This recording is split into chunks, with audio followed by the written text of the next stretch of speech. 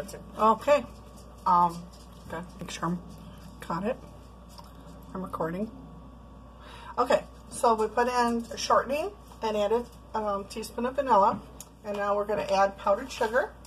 What we're doing now is um, we're making the uh, frosting that's going to accompany our flame flame cake and gum gum fruit cake.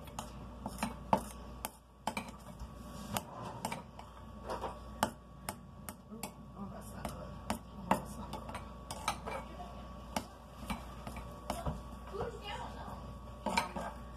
Let's just grip in this.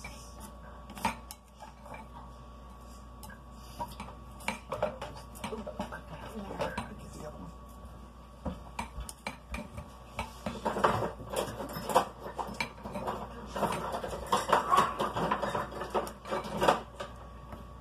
Do you need a masher?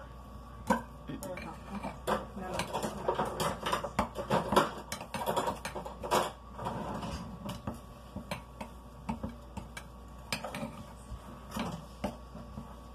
So we're mixing it together, making it creamy, and then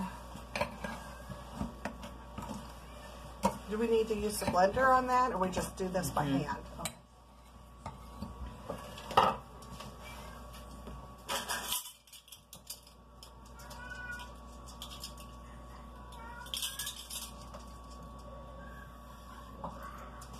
Adding a little bit of water. Um, I got this. Um, this, this, this. Okay.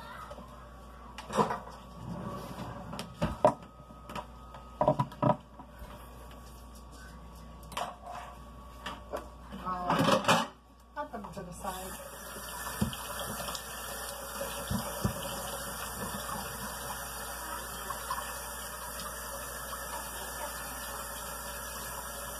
Wait. And um, what colors are we gonna? Um, we're gonna make orange, yellow, red, and purple frosting, correct? Mm-hmm.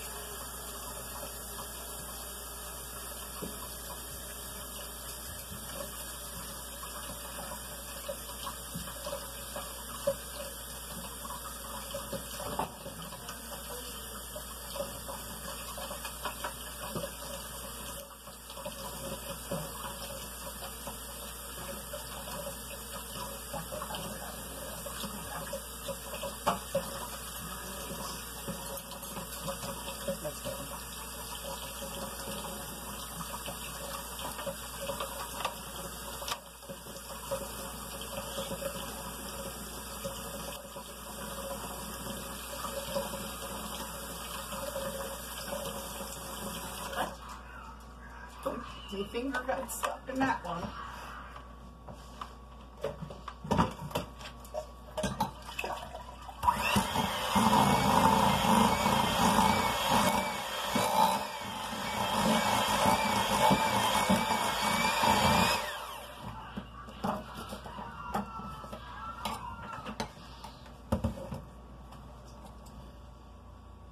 No, so I'm just um, watching.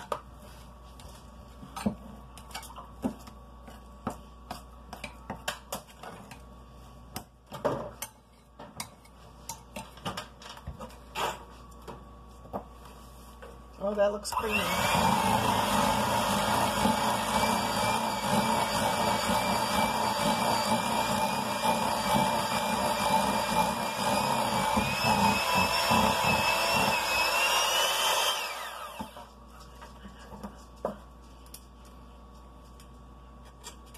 We're gonna make these in small batches then, and um, and we're gonna color them. Um, each bowl a separate color, and then put them in pastry bags and apply them to our cake. Uh, um, these I got them at the um, dollar store.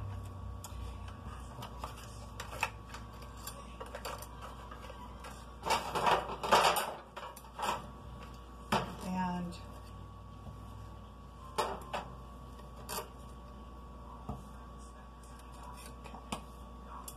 make sure you get all that extra stuff off the um, the beaters.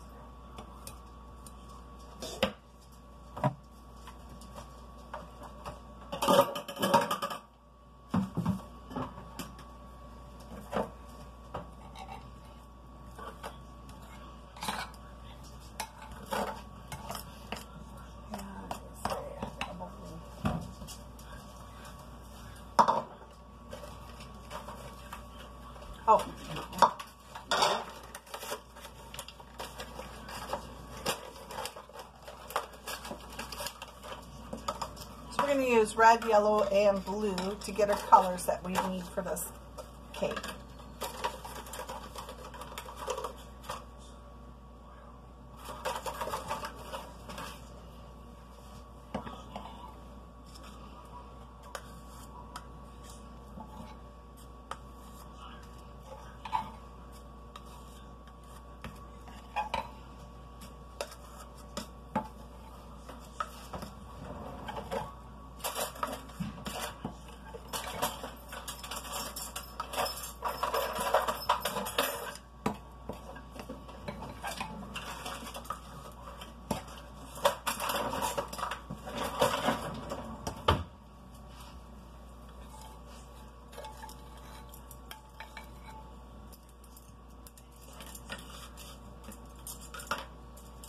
Extra spoons for each color. I even picked up some extra um, storage bags in case we um, need to pipe it out for that.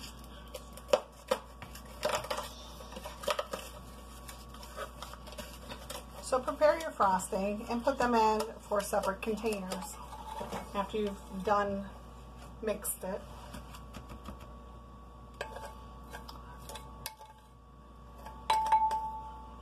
And this is the kind of frosting that you would frost, you know, you'd find on a wedding cake or shower cake.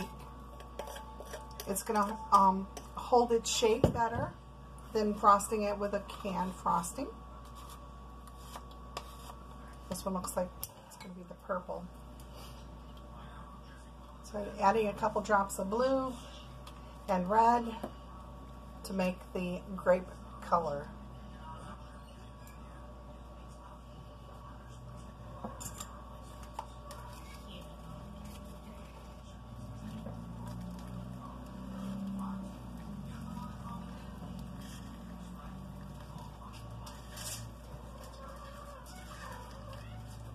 Yeah, that looks really good.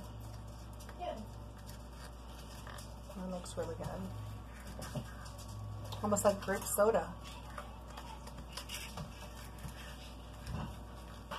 Hold it in the middle a little more.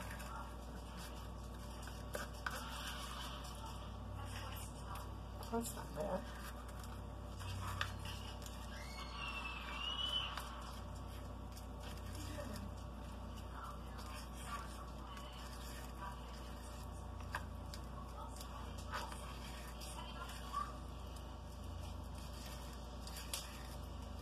Perfect amount of food coloring.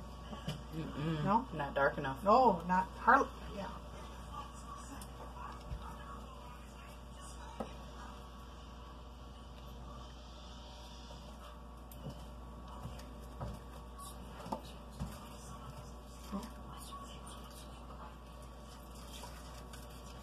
What?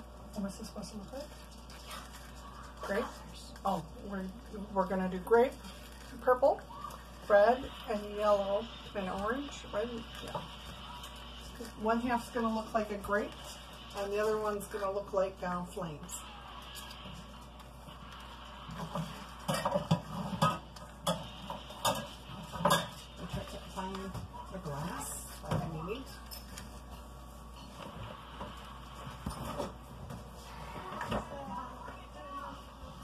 Sorry.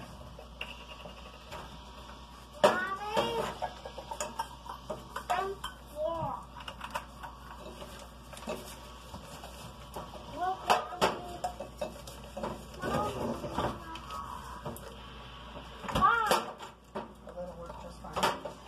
Um, are we gonna, what, um, tip will we use for the grape, which one are we gonna use first? Mm, prob- we'll probably use that one for